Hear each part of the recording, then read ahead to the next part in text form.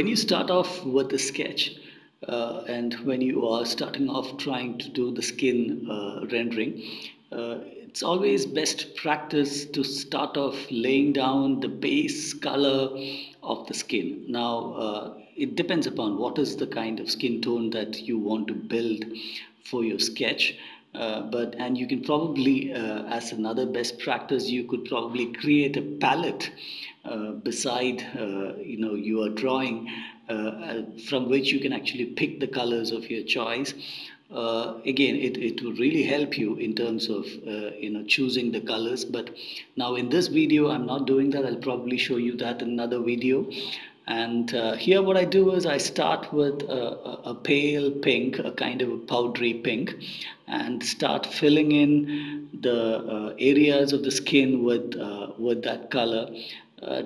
it's not necessary that it needs to be uh, all same and even in every place but you could probably do that and and another easier way to probably uh, do that would be is to probably close all the uh, loose or open uh, ends of the line and then fill it up with the color but here you could if you are having a drawing tablet like a Wacom or if you're doing this on uh, uh, on your iPad you could just fill it up with color solid and that's probably the first step that you would do. Okay, so once the, uh, the basic tonal values of the skin is laid out, then uh, what, what I start doing is that I start identifying the areas where uh, the uh, the depth of the skin is going to be or the areas where the light and shade is going to fall. And I, I as a practice what I try to do in, in most of my illustration is I start defining uh, the areas where the shade is falling or where where it is darker the skin starts becoming darker because of the, the shadows that is falling on the skin. And I start uh, giving it the color. So uh, and and it's probably a, a good way to work uh, uh, on those lines because it starts giving you an idea of where uh, the areas that you need to leave out for the highlights and the areas that needs to be taken uh, below for uh, the shadows and for the darker areas of the skin rendering. So yeah so what I do is now as you can see I can I, I start identifying areas of the skin or the body where uh, there needs to be more depth like uh, the armpits the under the arm the areas which is which is kind of uh, you know sitting beneath uh, the body of the garment uh, areas where the light is not falling um, like what what I've tried to define here is that the light is falling from somewhere center left of the figure. So, uh, so that's the kind of a three-quarter position from which the light is falling. But also at the same time, like say for example, on the right hand, what I'm giving is I'm giving a little bit of depth on either side of the hand because on the left side of the right hand, uh, that falls into the shadow area of the body. So there again, I give it the little bit of depth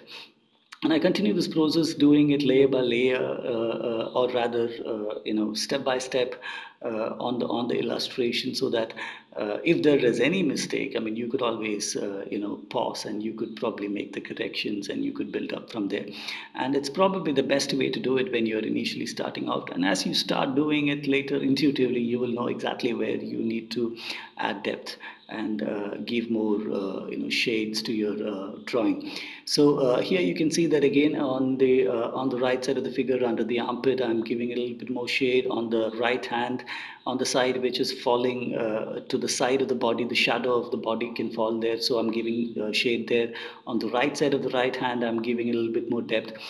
Areas that is beside the, the, the garment like the straps or under the straps uh, where again a slight amount of shade would be there. So I start uh, shading those areas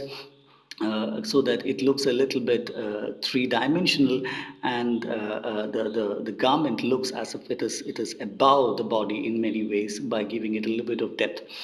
in those areas over there and really starts giving life to your uh, drawing. And as you can see what I'm trying to do here is again this is an area which which is the shadow of the garment or uh, you know should be falling on the body. Uh, so so those areas have kind of given it a little bit more uh, depth. And uh, that's that's basically what and how I uh, kind of start off uh, you know my most of my skin rendering. And now I'm trying to define the, the, the muscle of the uh, the neck and then the cheekbones here. Uh, under the eye I gave it a little bit of shade uh, just above the the eye where you know the are going to be there. Now in this illustration I've not over exaggerated the eyelashes. It's a very simple uh, straightforward sketch uh, uh, and it's not too stylized. So uh, so you know I don't give too much of a depth there in the face especially above the eye on the eyelashes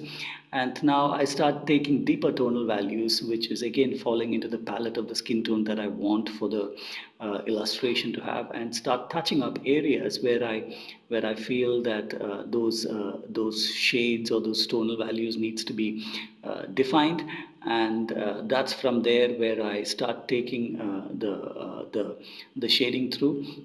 and uh, now I'm starting to uh, kind of give uh, you know the areas especially you know where the shadows are defining it a little bit more stronger so that it starts becoming visible. And then after that once I'm confident about you know the fact that I've covered most of the shaded areas I start working on the highlights.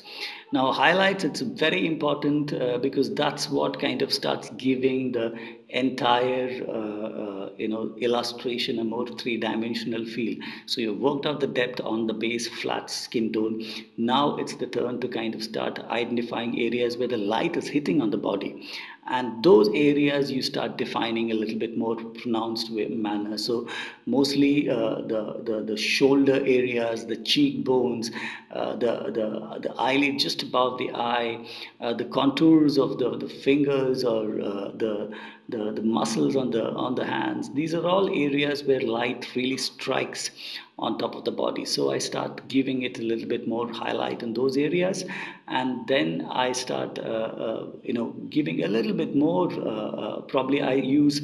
uh, white or probably a, a faint tone of uh, pink and start you know defining in a very gentle manner just some of those areas so that it starts to kind of give a slight sheen to the skin in in many ways. Now you could overdo this and you could make it very stylized if you want to. Uh, uh, or you could try and keep it very pale and you know try and do it in such a way that it starts to look a little bit more uh,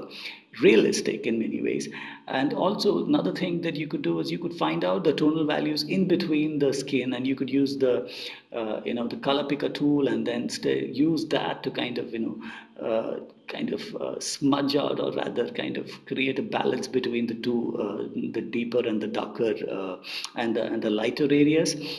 and then kind of you know work the colors in between that so that it kind of gives it a nice uh, gradation uh, to the Uh, to the uh, to the both uh, sides of the uh, rendering that you're having and uh, this is something that uh, I mean you could there are so many ways in which you could take it through but this is one of the methods that I follow and and this is one of the methods that it's very simple and very easy for all of you guys to do and do try and do that and keep watching other videos where I'll be showing more advanced techniques of rendering. Thank you.